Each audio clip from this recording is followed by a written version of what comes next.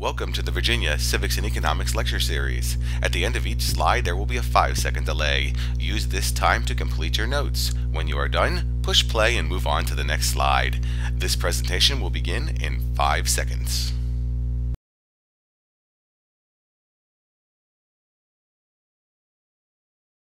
Welcome to Virginia Civics and Economics Lecture 1.7b on Consent to the Governed, and it's time to talk about the three most famous words in American civics we the people. We the people and our American government. Well, what does this really mean? What did we the people actually decide our American government would do? And isn't it the same all over the world? Well, let's see. Here we have the royal family of Great Britain. That nice little lady in the middle, she's the Queen of England. And in England, the people did not consent to govern themselves. They consented to be governed by a royal family or a monarchy. Then we have these guys. The guy in the middle holding the gold bar, that's Vladimir Putin, and he is the president of Russia. He and a close circle of his friends run that country in what is known as an oligarchy. And then we've got these guys. They are dictators who run dictatorships. They run the country, and everything they do goes. There's nobody else in charge but them. So we have different forms of government. The question is, how do citizens consent to be governed in all of these different ways? And what consent did we give to our government? We're going to answer those questions today, and with that said, go to the next slide.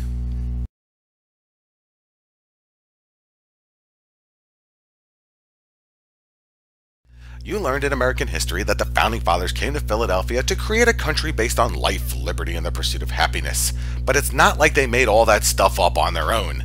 Instead, they relied on political philosophy to figure out how they would consent to be governed. Political philosophy is the study of fundamental questions about the state, government, politics, liberty, justice, and the enforcement of a legal code by authority. It doesn't need to be that complicated. Just ask Pinky and the Brain. Their political philosophy? Wait until tonight. Try to take over the world. Well, as you can imagine, the political philosophy relied on by our founding fathers was a bit more complex, and we need to go all the way back to ancient Greece to see how it all starts. Plato was a Greek philosopher who wrote the first treatise or book on political philosophy, and he called it the Republic. But we have a problem. Here's what Plato thought philosophers should rule the people.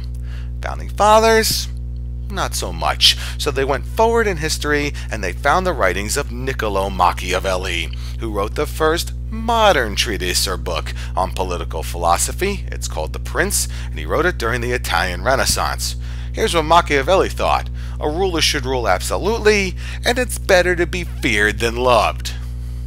Hmm, once again, the founding fathers weren't all that comfortable with that idea, so they went a little bit further into history and they found the writings of Theodore Beza and John Milton, who set forth that a ruler's power is delegated to him by the people and continues only with their consent. In other words, it's the people who give the rulers power to rule. And the people, they can take that power back. The founding fathers really liked that idea. Go to the next slide.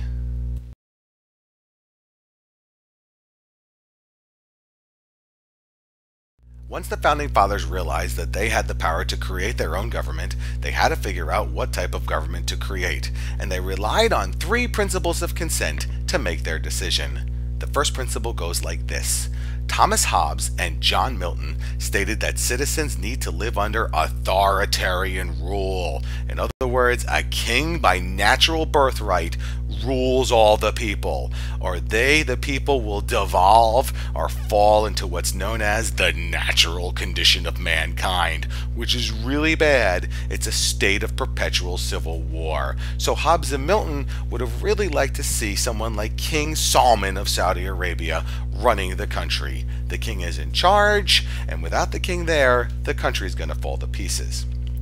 Second principle of consent goes like this David Hume stated that consent is immaterial. Nobody cares, as citizens rarely question the right of tyrants to rule except when tyranny becomes too oppressive. David Hume believed that people should be ruled by a dictator. Not that dictator. Now that's a dictator, and the people in North Korea will continue to be ruled by dictators until they can't stand it anymore. Here's the third principle of consent. John Locke Thomas Jefferson and George Mason believed that citizens delegate their natural rights, the rights they were born with, to protect their life and property to the government, as it is a better way of protecting those natural rights for all citizens. In other words, we have our natural rights, we could use those rights individually, but for everyone involved, it's just better if we give those rights to the government. Two of these guys were founding fathers.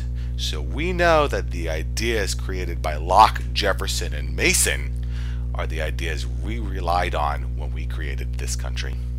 Go to the next slide.